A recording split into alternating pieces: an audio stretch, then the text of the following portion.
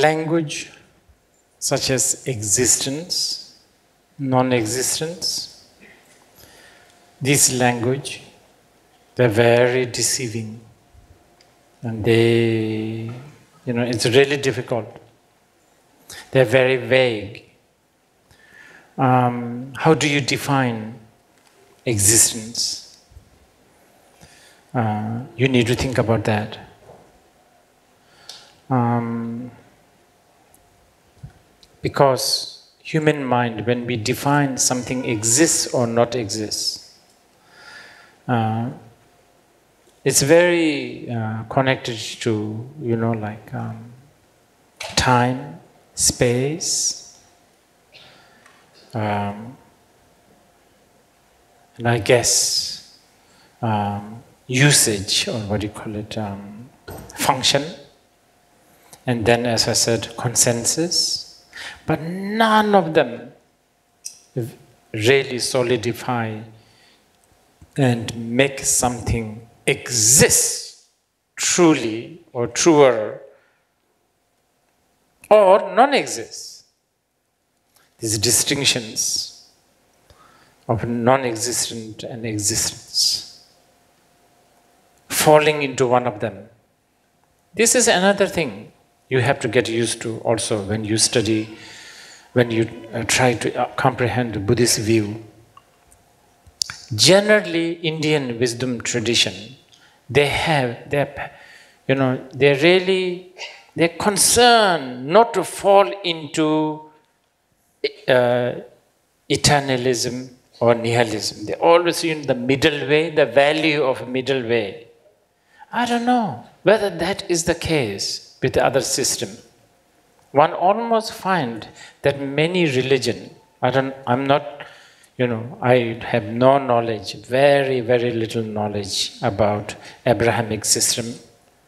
But sometimes I feel that they, they, one, they almost, they don't even, they don't even see it as a falling into one extreme. They don't even call it an extreme. That's the way to go. You know, you almost have to, from the Buddhist point of view, it's like they're proud of falling into one extreme. Something truly exists or not exists. They're proud of seeing something as a permanently and ultimately good and something as a permanently bad. Generally, Indian, uh, Indian wisdom tradition, especially Buddhism, very, very, very wary of this. Believing things as a truly good, truly bad, truly exist, truly non exist. But as I said, this is difficult, especially habitually speaking, for you to really see me of course, I'm not asking you to, I'm not demanding you to see me as a non existent. That's like, that's crazy. That's, that's not only crazy, that's defeating the Buddhist view. What basically, what when, when you are reading the Heart Sutra, what I'm demanding, so, so to speak, is when you look at me, just know that I am there, but I'm also not there. Just like the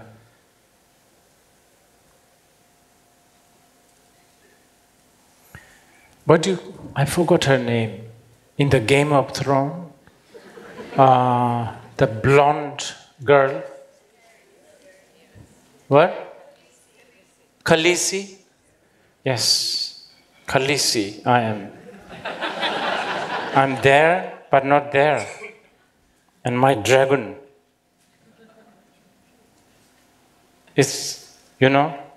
And then you can go on and on talk about oh she should have become a queen. She should not have become a queen.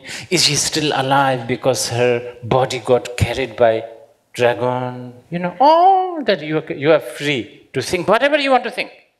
But it's all within the sphere of it's there but at the same time not there.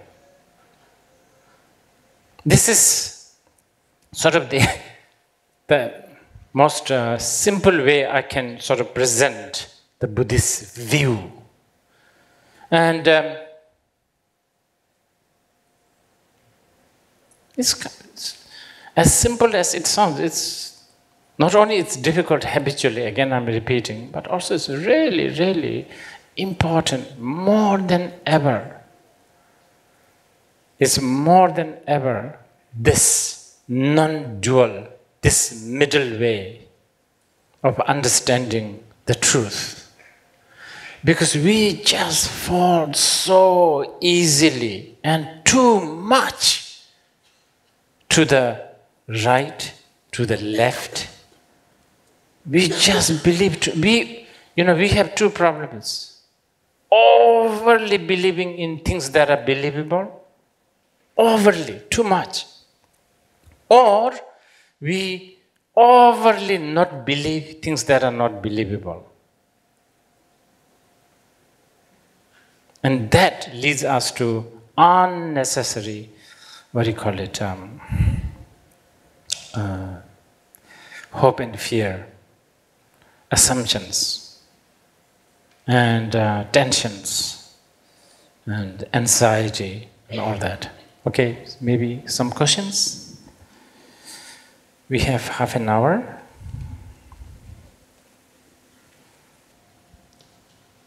Rinpoche, I, I believe I am eternalist in the morning and sinking into nihilism by the evening, in most cases. Sometimes the horns are an adornment, sometimes they're very painful, and I feel stuck in the middle and at a loss to know in our, in our language where do we fit? Mm, the second part, can you tell me again? The horns sometimes playful or uh, an adornment, beautiful, mm-hmm. but then they can also be very painful. Right. So, yes. being aware of that a little it's painful, the actual, the dichotomy. Being aware of that fact and mm. then still being dragged to the old habit. Yes. Mm. That, by the way, uh, the Buddhists would say, hmm, you are becoming a Buddhist. yes, that's what they will say. But in, in, in language, how, there's no word for no, non dualism. It just, it's not a word. yeah, true. it is. I know. Isn't it strange? Yes.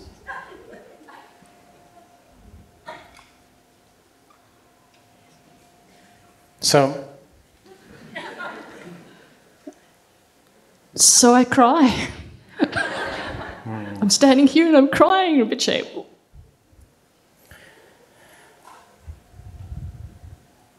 Yes, I think it's called um, sort of training to long for unlongable, which is good because the prob- because you because if you don't do that, chances of you long for things that will take you to trouble is very high. So you might as well cry and long for that that is not longable, because on the long run it will give you more freedom.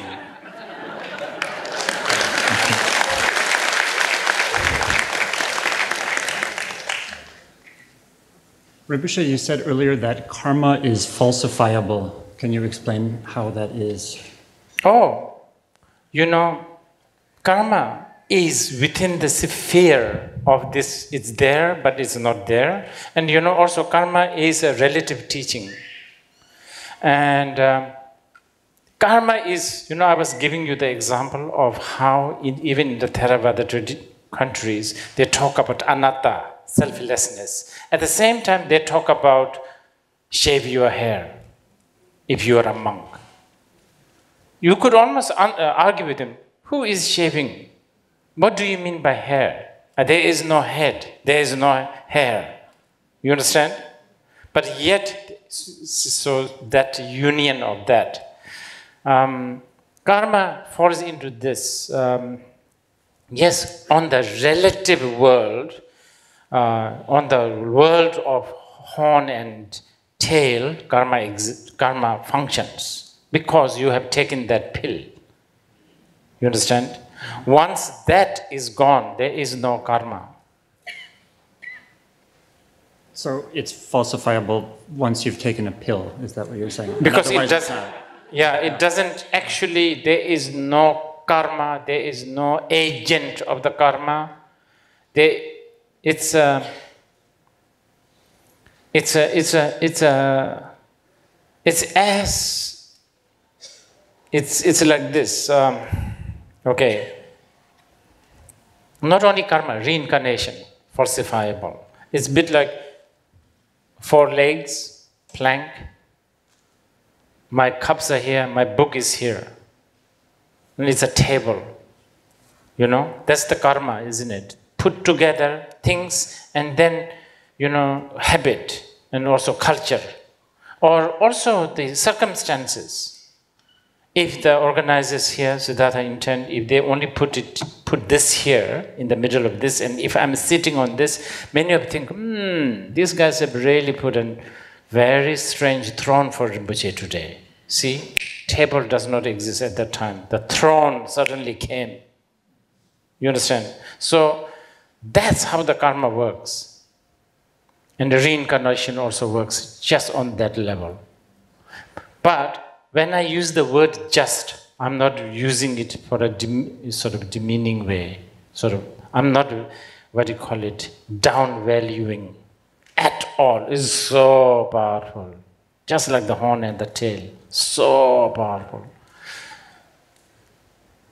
Can I ask another question for a friend? Yes. Um, a, a friend was wondering, since you were speaking about uh, the whole sense of viewing things as being both real and, and not real, how would uh, Buddha relate to the fires and the, Trump, the uh, problems that are happening in Australia now?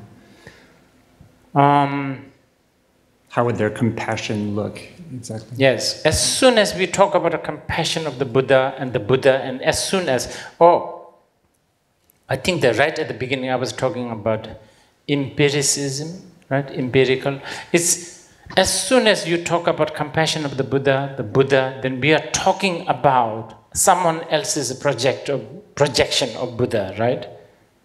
So yes, that's why I strongly believe that the Buddha had the compassion, the power, omniscience to see this. And if we can, so now what we need to do is we need to create the cause and condition to invoke His compassion and the power and do the prayers, which towards the end I'm going to do.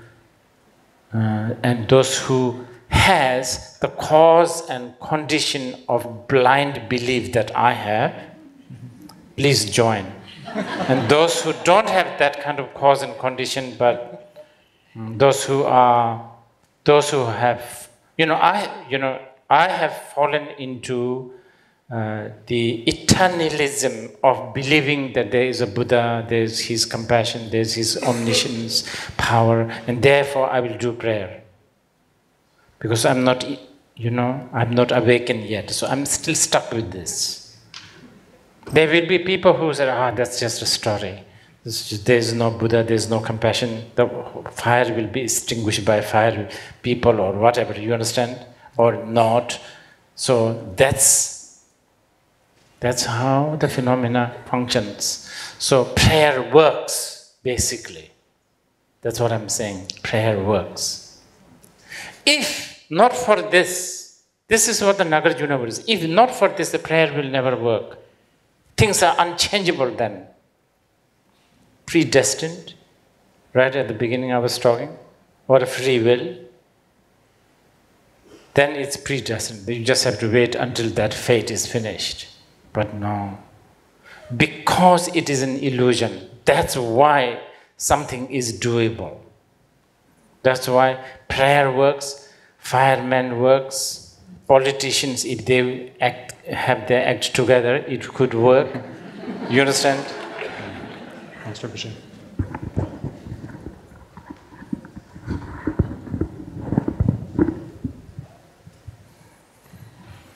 Rinpoche, you yes. used to talk about the snake and the rope. The snake and the rope, are they like the horns and the tail? Yes, I was using some updated, updated example. Yeah. Yes. Oh, okay, thank you. Thank you. okay.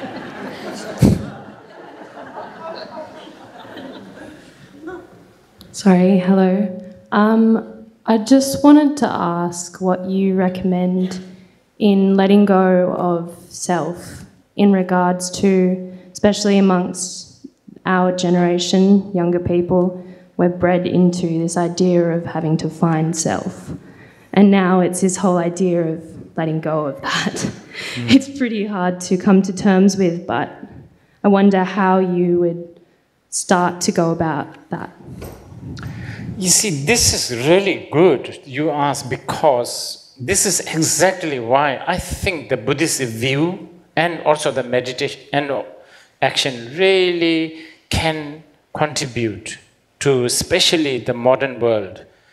Um, because the letting go, I don't know, the idea of letting go seems to have a lot of sacrifice. It's painful. I, I, for one, don't want to sacrifice things. You understand?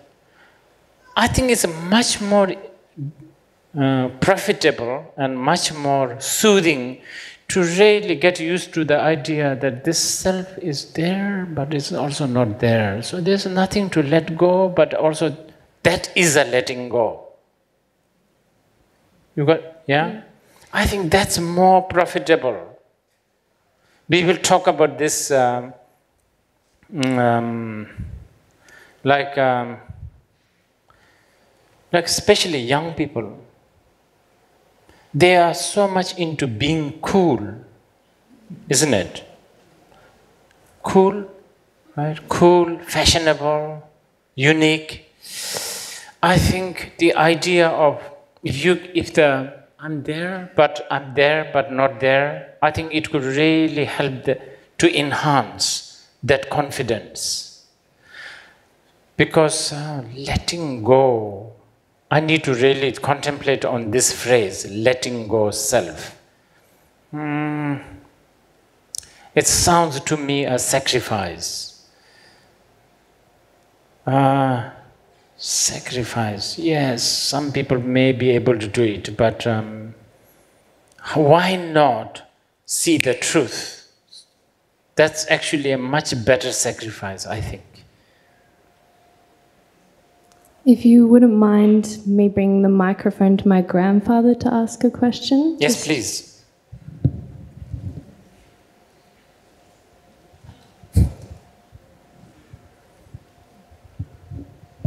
Hello, Rinpoche. Nice to see you back in Australia.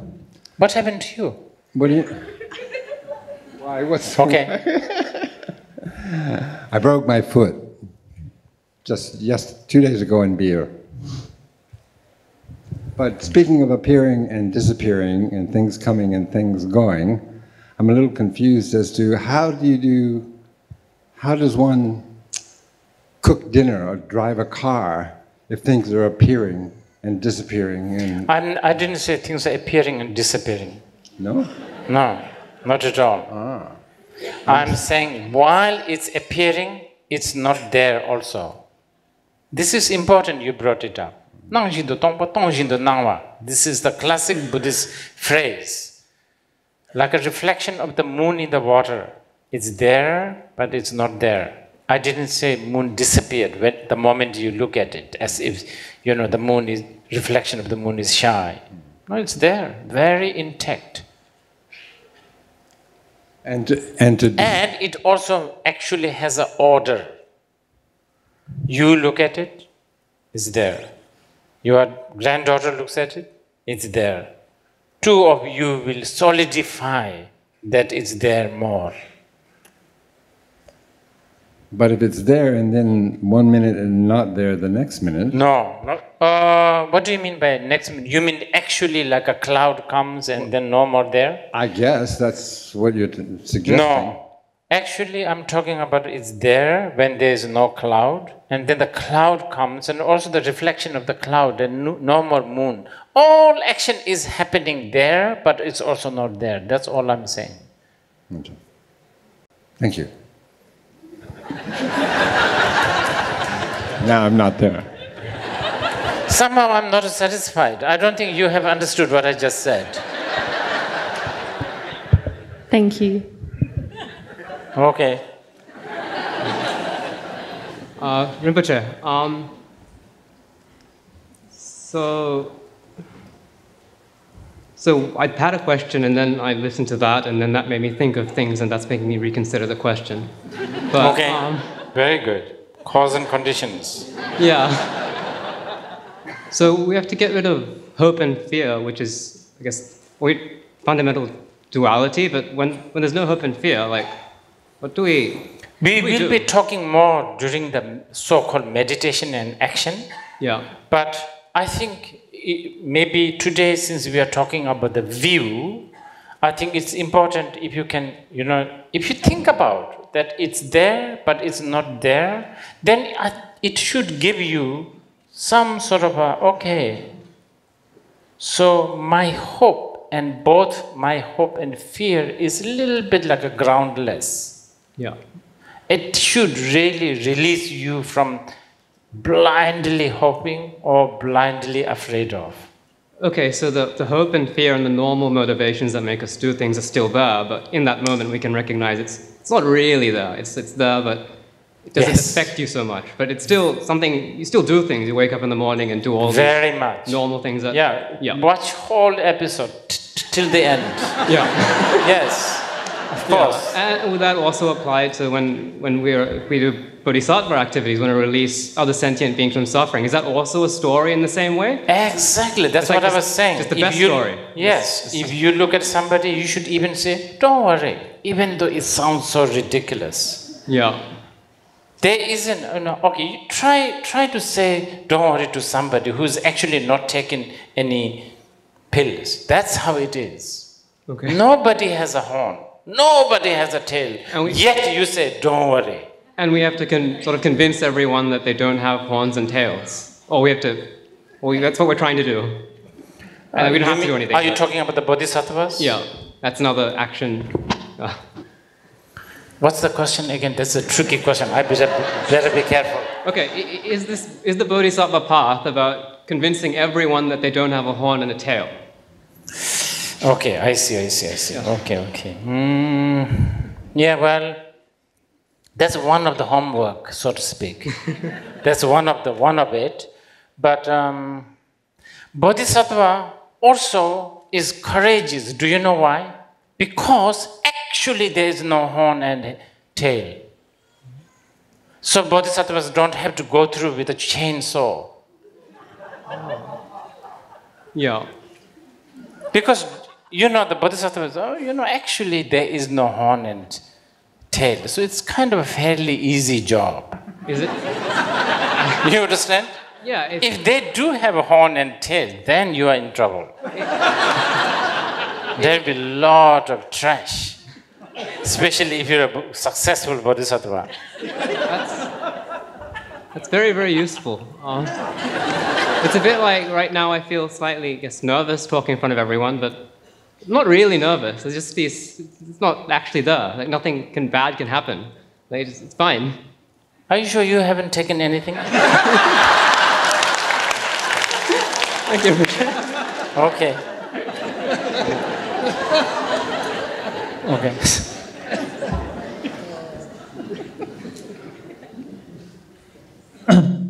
Yeah. Uh, dear Rinpoche, uh, firstly, I want to thank you for your teaching today. And uh, my first question is that uh, I think the non-duality view is the comparatively right view in Buddhism. And uh, should we keep this view on our daily life, or how can we maintain it? How can mm, How can we keep it?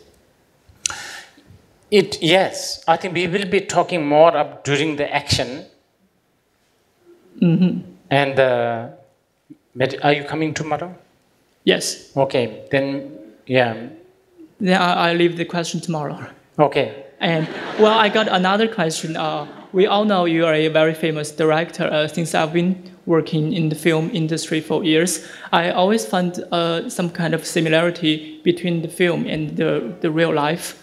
And uh, my question is, does that mean our real life probably can be a project, uh, a could be a film projected by our conscience? Yes, but first of all, I should say I'm not that famous. If I'm famous, You're very famous to me. Okay.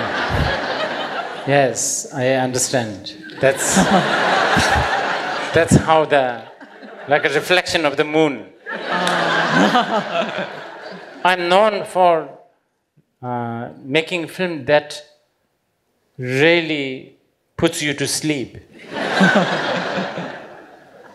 anyway, um, writing, yes, I think it can. It can.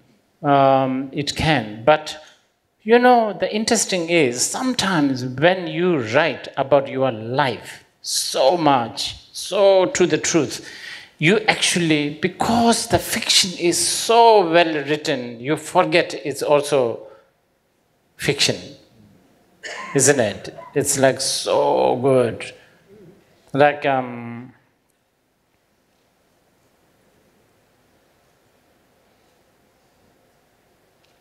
some really good writers they can write amazing stuff and then you forget that's yeah and i think that's what is happening all the time like we write our stories so well that we forget that we live in a not there but it's there it's there but it's not there okay So, yeah uh, yes yes well, uh, does that mean our conscience is also is there and uh, is not there Consciousness at the same time? consciousness are you saying consciousness Yes. Yes, it's there, but it's not there. But now you are getting to the real, uh, sort of going really far.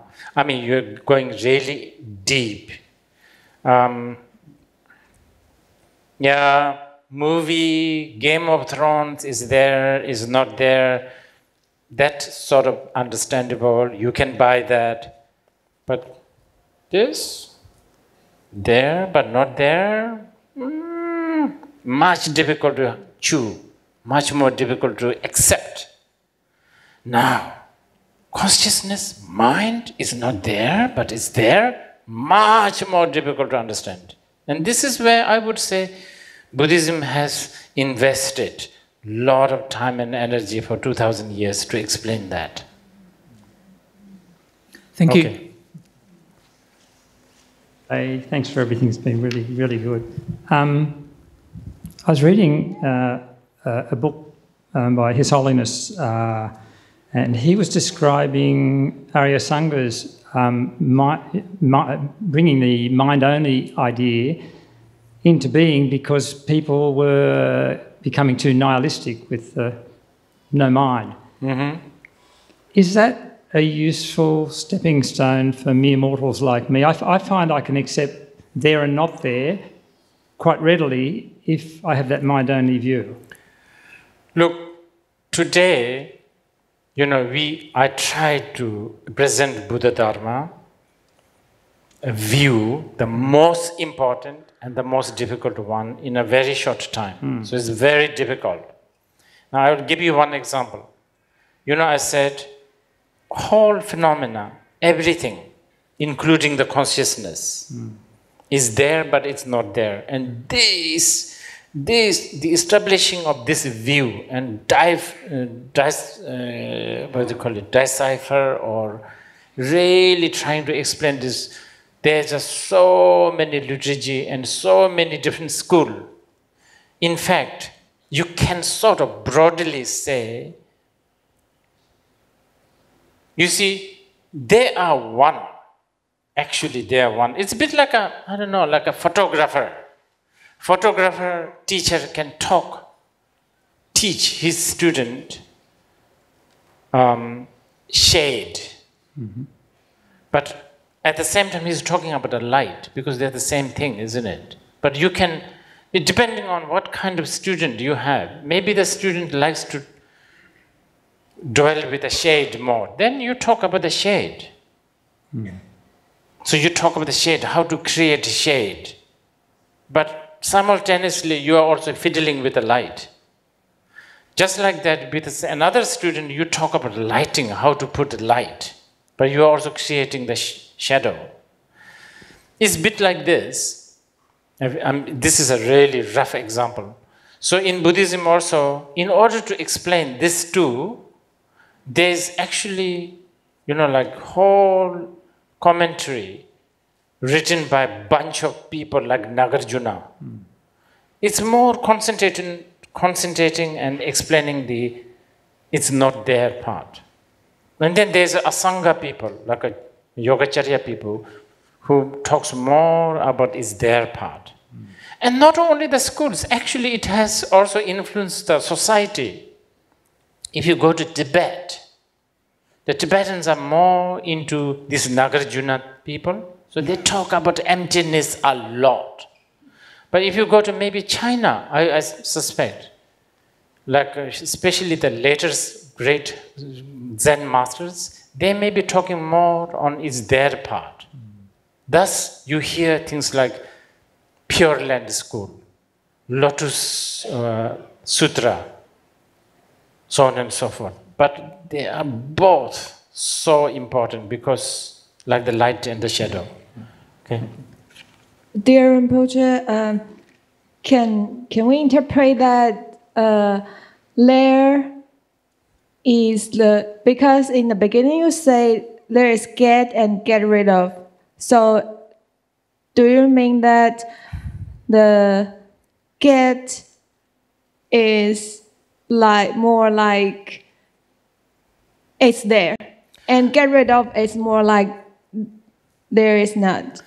Well, I was talking more the, the result, the aim of Buddha Dharma, contrary to a lot of people's way of expressing achieve enlightenment, get enlightenment, sort of, you know, you get something, but actually the Buddhist, Buddhist aim, the nirvana or the result, is more defined by what you get rid of.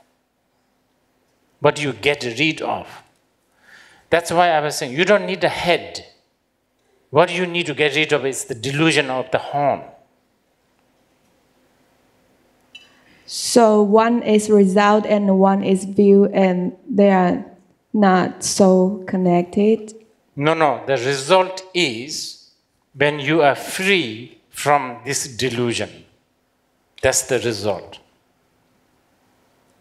That's And to define the result. Okay, so if somebody asks you, what is, what do you, uh, are you Buddhist? Yes. What do you believe in?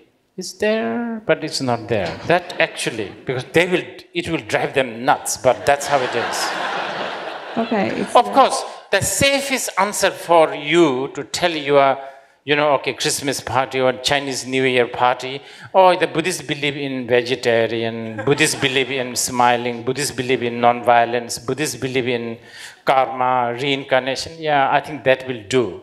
But actually, you should be saying, you know, Buddhists believe things as in, all things are there, but it's not there. But mm, I don't think anybody will like you for that. Okay, the second question, if they ask you, okay, so what are you aiming for? What do you get? Then you say, "We- don't get anything. We only get rid of things. That's what it should be, actually. That's what it should be. okay. And the, the uh, another is uh, as you answer the other person's question that the there is and there is not. This view can help people to cultivate confidence. I- Yes. and how how does it work? That's my question. Because I think I gave you the example already when you are watching the TV. Uh, what, why you have the confidence to go to the toilet if you need to go? Because you know it's there, but it's also not there. If you don't have one of those, then you don't have the confidence. You have to either finish. You got that? You, we don't have the confidence that because we think it's there or it's not there. Like it's there in 2D and 3D is not there, so we can use toilet. It- What? I mean, in the screen it's there, but uh, more. In, in reality, it's not there, right? That's why, we have confidence to go to toilet. yes. So we just like confidence. that. Okay. Just like that, if if something is happening in your life, which is really, really bothering you, if you can really, really habituate yourself, really realize that whatever you are valuing, whatever you are putting so much effort, is actually there, but it's also not there, then you can take a break from your life. okay. okay. Thank you. Okay, this will be the last question, and then I will do a prayer. Okay. Rinpoche, do we just think too much? Yes, that's why I'm going to end it soon. Thank you. Okay. Okay, so as I said earlier, I'm going to do a prayer uh, for me, of course, you know, for awakening of all uh, all beings from all kinds of delusions, but especially um, the situation in Australia at the moment, and also situations in China. So I will do prayers to one of my most fond deity, Aryatara. So those who share my phenomena, please also uh, join me. Jizuma um, pamatamata chalsalo, chalsa tamanyo pamachina jitensum kin chuji shachi kiza, chawadani.